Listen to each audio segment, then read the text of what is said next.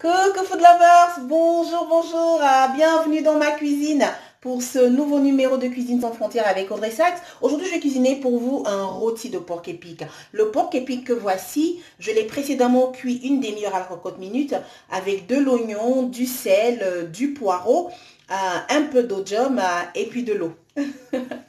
donc à côté de notre porc épic, vous avez trois cubes. Vous avez également donc une belle poignée de musup, une belle poignée d'eau Vous avez un tiers de poireau, vous avez un oignon, euh, cinq pièces de l'ail euh, et puis trois tomates. le manioc, lui, on va le cuire à vapeur. Donc ce le manioc vapeur que vous voyez ici, donc ce manioc qui est tout frais, il servira de complément à notre porc épic. Voilà, la prochaine étape pour nous va consister à hacher très finement tomates, l'ail, oignons et poireaux. C'est la prochaine étape. Ensuite, on va passer à la phase de cuisson. Je vous dis à tout de suite. Coucou food lovers, voilà, voilà. Alors, alors que nos différents ingrédients sont désormais euh, donc hachés finement, là vous avez oignons, l'ail, euh, tomates et poireaux, comme on se le disait tantôt. On va passer à la phase de cuisson.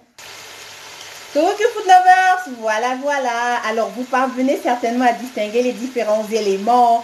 Oignons, poireaux, ojom, mesep et l'ail. Voilà. Donc là, c'est ça. Alors, Tokyo Food Lovers, voilà, voilà. Alors, vous parvenez certainement à distinguer les différents ingrédients que j'ai rajouté dans notre marmite avec un peu d'huile préchauffée. Donc on a nos oignons, notre poireau, on a l'ail, on a l'ojom, on a le messap, on a la tomate.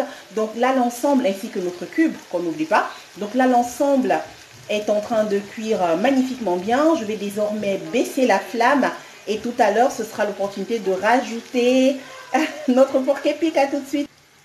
Ok vous de lovers, voilà voilà. Alors après 15 minutes à feu doux, notre tomate et les différents ingrédients, vous voyez, je rapproche la caméra au plus près, notre tomate est parfaitement cuite.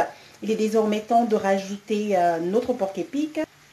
Voilà, on va mélanger tout ça et on va désormais laisser cuire le tout ensemble, toujours à feu doux. Je vous dis à tout à l'heure. Bisous. Coucou food lovers Voilà, voilà, notre parenthèse culinaire arrive ici à son terme. Il nous aura fallu 1 heure et 15 minutes pour cuire notre porc épic à la perfection.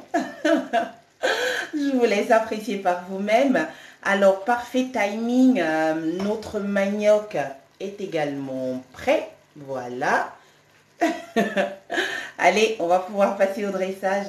Coucou food lovers Voilà, voilà, notre parenthèse culinaire arrive ici à son terme.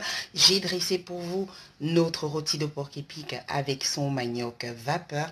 J'ai été ravie au combien de partager ce moment avec vous. J'espère que vous également. N'oubliez pas, si vous n'êtes pas encore abonné à ma chaîne YouTube, bah, faites-le. Vous y trouverez tout plein de recettes, tout aussi délicieuses. C'est Cuisine sans frontières avec Audrey Sachs. Gros bisous, bon appétit